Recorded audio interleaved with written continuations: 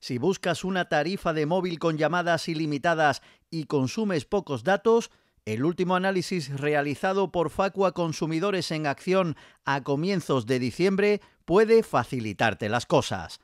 Para los ya poco usuarios que quieren llamadas ilimitadas sin que la tarifa incluya datos, las más económicas son los 6,50 euros de Senet, los 6,89 de Swap y los 6,90 de Global y Finetwork. Pero ojo que estas opciones resultan menos atractivas que las ofertas con pocos datos a precios más bajos que existen en el mercado. Así, la compañía Digi ofrece 5 GB por 7 euros mensuales y Pepefon 4 GB por 6,90 euros al mes.